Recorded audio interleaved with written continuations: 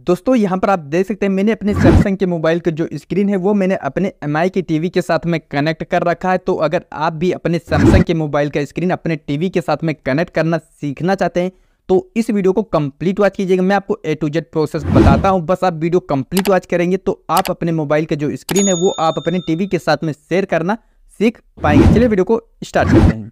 तो इसके लिए आपको दो बातों का ध्यान देना है। आपके टीवी के साथ में कोई भी सेटअप बॉक्स या डिश टीवी कनेक्ट नहीं होना चाहिए। केवल आपका जो टीवी है, वही ऑन होना चाहिए। जैसा कि भी आप देख सकते हैं, हमारे टीवी के साथ में कोई भी सेटअप बॉक्स या डिश टीवी कनेक्ट नहीं है।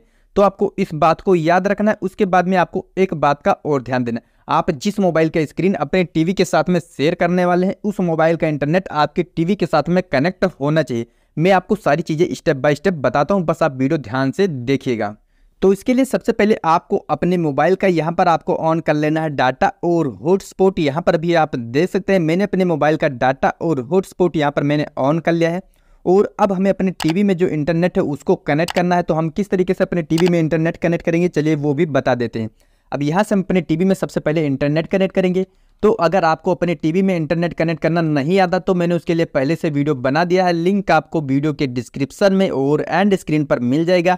आप उस वीडियो को देखकर आसानी से अपने टीवी में इंटरनेट कनेक्ट करना सीख सकते हैं। जैसा कि अभी आप वहाँ पर देख सकते हैं, हमारे टीवी में इंटरनेट जो है कनेक्ट हो चुका है। तो इस तरीके से सबसे पहले आपको अपने टीवी में इंटरनेट कनेक्ट कर लेना है। उसके बाद में अब हमें दोबारा से अपने मोबाइल में आना है और यहाँ पर हमें इसे क्लोज कर देना है।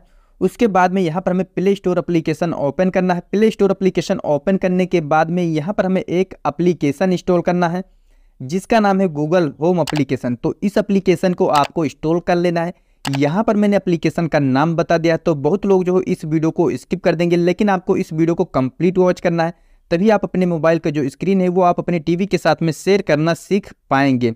उसके बाद में सिंपली आपको ओपन पे क्लिक कर देना है। आप जैसे आप ओपन पे क्लिक करेंगे, उसके बाद में सिंपली आपको गेट स्टार्टेड वाले ऑप्शन पे क्लिक कर देना है। उसके बाद में यहाँ पर आपको कोई एक ईमेल आईडी यहाँ पर आपको सेलेक्ट कर लेना है। तो यहाँ पर फॉर एग्जांपल मैं इस वाले ईमेल आईडी को सेलेक्ट कर लेता हूँ। ये गूगल का एप्लीकेशन है तो यहाँ पर आप बेझिझक ईमेल आईडी सेलेक्ट कर सकते हैं। उसके बाद में सिंपली आपको ओके कर देना है। जैसे आप ओके करेंगे, उसके बाद में आपके सामने कुछ इस तरीके का यूज़र इंटरफेस दिखाई देगा। अब जहाँ पर आपको सिंपली डिवाइस वाले ऑप्शन पे क्लिक कर देना है, जैसे आप डिवाइस वाले ऑप्शन पे क्लिक करेंगे, जो आपका डिवाइस है, वो यहाँ पर आपको शो हो जाएगा। जैसा मेरा यहाँ पर दिख रहा है टीवी सिंपली हमें इस पर क्लिक कर देना है। अब जैसे आप इस पर क्लिक करेंगे, उसके बाद में यहाँ पर आपको एक ऑप्शन मिलता है कास्ट माई स्क्रीन का। सिंपली आपको कास्ट माई स्क्रीन वाले ऑप्शन पे क्लिक कर देना है। उसके बाद में कास्ट स्क्रीन वाले ऑप्शन पे आपको क्लिक कर देना है। उसके बाद में सिंपली आपको स्टार्ट ना वाले ऑप्शन पे क्लिक कर देना है। अब जैसे आप स्टार्ट ना वाले ऑप्शन पे क्लिक करेंगे, तुरंत वहाँ पर आप देख सकते हैं, हमारे मोबाइल का जो स्क्रीन है, वो हमारे टीवी के साथ में शेयर हो चुका है। अब यहाँ से हम कुछ भी करेंगे अपने मोबाइल में तो उसका जो प्रिव्यू है, वो हमारे टीवी में दिखाई देगा।